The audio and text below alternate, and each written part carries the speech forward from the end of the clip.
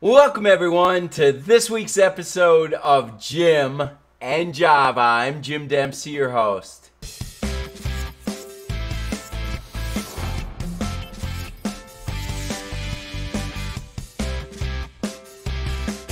Well, welcome everyone. I'm just always so pleased to be with you on these episodes of Jim and Java. I always enjoy addressing your questions and digging deep into the area of development, fundraising, nonprofit management, and helping you to grow this community, increase income, and become fully funded. And this is a busy time of the year for many of us. I know that if you are doing events, this is an extremely busy time. April is the most popular month to do dinners, and uh, May following, and then uh, October and November are the next two most popular months. So I hope things are going well for your planning. Uh, I'd like to jump right in today because we've got a question for today that deals a lot with events and event planning. So let's dive right in to our first question. Our question today is from Dawn in Dallas, Texas. And Dawn asks, How important is audio video to the success of an event? Well, Dawn, thanks again for this question. I've had this come up many times over the years in working with dinners, and I just thought it was a great question to be able to address at this point in time. I'll tell you that there are so many factors in a dinner that make or break an event. I always say that a game changer for any event is the recruitment of table hosts. The last thing that any organization wants is a terrific program that nobody sees. So, recruiting of table hosts is so important. And then presenting a meaningful and compelling challenge and opportunity for people to give is also extremely important. But I'll tell you, an area that is greatly overlooked in any strategy is the audio video of an event. If you are going to share with people your compelling message and your mission and vision, you've got to be able to, in this day and age, sell that message in a very creative manner. And we're, we're in a society right now where attention to detail and stimulating content is extremely important. Many of us have uh, have big screen TVs in our homes nowadays, and we uh, either play video games ourselves, watch our kids play video games. Uh, we are connected to each other through iPhones, iPads, and uh, other um, electronic devices. So, a visual stimulation for us at this point in time is very important. But also, we have to remember that our attention span is very small. I used to be able to do videos in the 1980s and 1990s that would be 10, 12 minutes long. That went down to eight minutes, then down to five minutes. And now I'm fortunate if I can keep someone's attention for three minutes or less. But all that to say is that we are motivated and stimulated by visual communication and making sure that if you are going to be presenting your case for support to someone, you've got to make sure that you're doing that in a compelling manner. And the two things that are so important is the audio and the video or visual component of an event. If an if a audience comes to an event and can't hear what the speaker is saying, it's either too soft or or un or they're unable to hear what you're saying, it's not audible, then you have got a problem. I always jokingly say that if it sounds like you are at a drive-through at Jack in the Box and people are saying, Well, I'm glad that you're here for this event today. It sounds very much like you're going through a drive through with a terrible speaker system.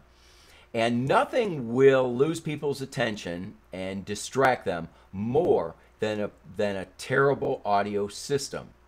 And I can't tell you how many events that I've been to over the years that terrible audio is just accepted.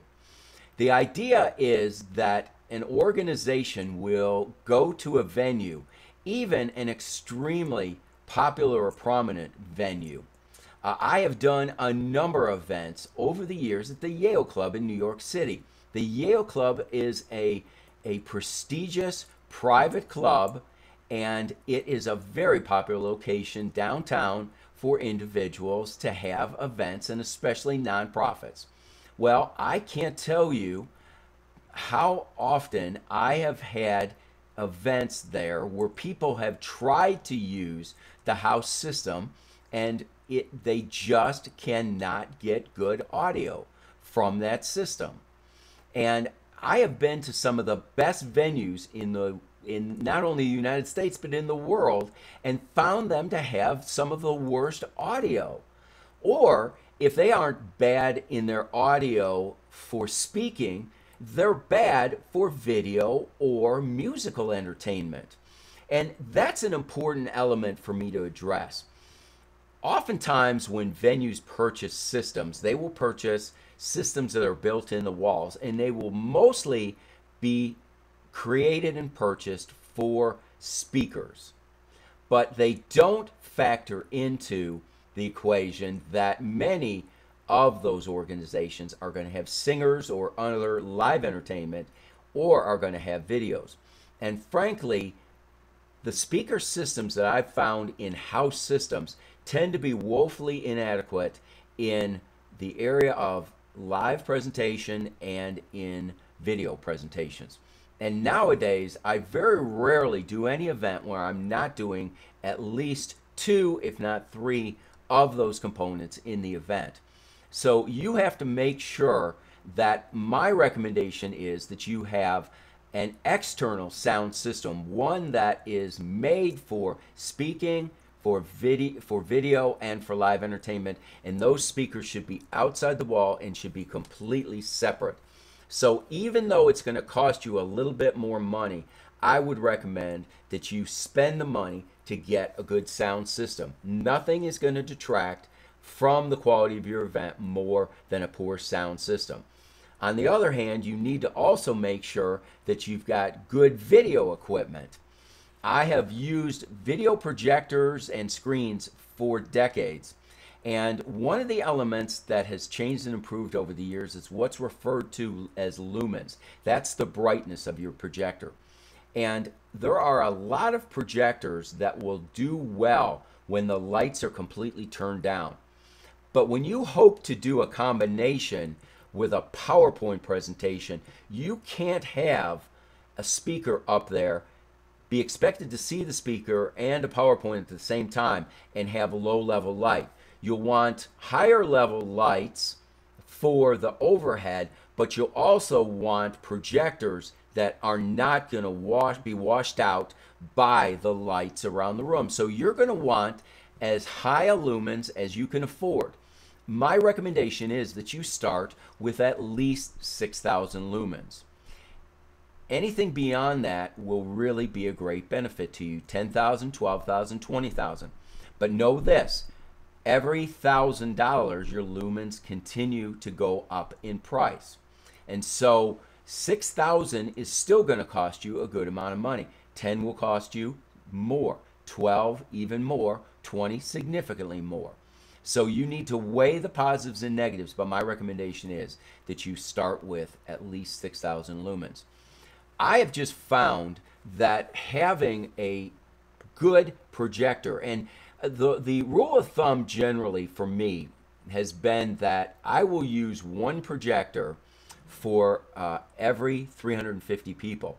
So if I'm going to have less than 350 people, I'm using one projector. If I move to 350 or more people, I'm going to move to a second projector. And of course, then you decide do you want front projection, which will take up space in the front, but generally be more clear, or do you want rear projection, which will allow you to bring your tables, stage, and everything closer to those screens, but tends to be washed out a little bit more. So you're going to have to look at some of those components within that. Then the other element that you want to look at is do you want the image of the speaker projected on the screen? If so, you're going to need a camera referred to as an iMag, and that will be much like a camera, something like that I'm using here now, but we'll be able to pick up the image of the speaker and project it onto the screen. And if you've got multiple projectors, that means you need a switcher that will switch that image and split the image between the two speakers between the two screens that you have. And generally, I am going to recommend at about 400 or 450, I'm going to recommend that you use an iMag and project the image on the screen because when you start to get 400 or 450 people or more, it's going to be very hard for your um, guests to see your speaker. Uh, they're going to see the person, but not make out the characteristics in their face. And honestly, when you're trying to make a, a compassionate plea with people, you want to be able to see people's faces. You want to be able to see if I'm concerned or I'm frustrated or even if I'm sad. And there may be a tear in my eye as I'm communicating a message. I want to be able to see those things because I need the audience to connect with me or the speaker and having an image that you can make out a face versus something that's so far away you can't make out a face is is going to be very negative for your event. So I strongly recommend that you invest the money and it could cost you 1200, 1400, 2000, 2500 or more to get good screens, good projectors, good external speakers a soundboard you're going to need. And I always recommend getting techs, individuals who are going to be able to help you run that system through the evening. And they also need to be able to understand your program and when to switch from a speaker to a video, a video to a live presentation, and then back to the speaker again. They need to understand your presentation. So those kinds of things are going to be so important, but they're going to cost you money to do that. Now, can you save some money by getting those materials donated? Absolutely. And in fact, almost 100% of the time, I am not going to use the equipment from a venue because generally there's a markup with that equipment and it will mean that you're going to be paying more because the venue also gets a kickback on the prices. So if I'm going to get equipment, I generally get it outside from an outside vendor or if I can even save a little bit more and get a church or other a donor, a partner who is connected with your organization to, to donate the equipment and those services, that is such a better option than having to pay full price. But just know that audiovisual will cost you money, but this is one area, and I mention often the term is the juice worth the squeeze. This is one area where you don't want to cut back so much that, as I said, once again, it sounds like you're at a Jack in the Box drive through. You do not want to skimp on your sound or your video. It is going to be so important that people come and after you've done all your work to pack out the room for people to come and not be able to hear a speaker, a video, or a singer is just a waste of time and money. So, Dawn, I hope that helped answer your question. I do believe that audiovisual is very important to your success of your program, and I hope that helped you. I hope that some of you will comment down below in the comment section. Let me know whether you use audio visual, whether you use an outside person, whether audio visual is important to you, or if you've had some bad experiences. Share that with this community. We learn a lot from each other, and I hope that you'll be able to share that. If you've got any questions, go out to Twitter at DevEffStrats and use the hashtag Jim and Java. Please be sure to subscribe because we're building this large community making a difference in our world and in eternity. And also, we want you to connect up with me through Instagram at Dev Effectiveness Strategies. We've got our Wednesday fundraising and film, our Monday uh, three tips for development success.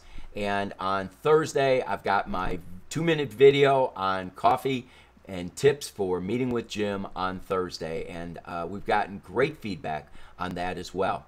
So, thanks a lot for joining us this week. As I always say, we will strive to increase income and reach the goal of becoming fully funded. Watch this next video, and we'll see you next time in our next video. Take care.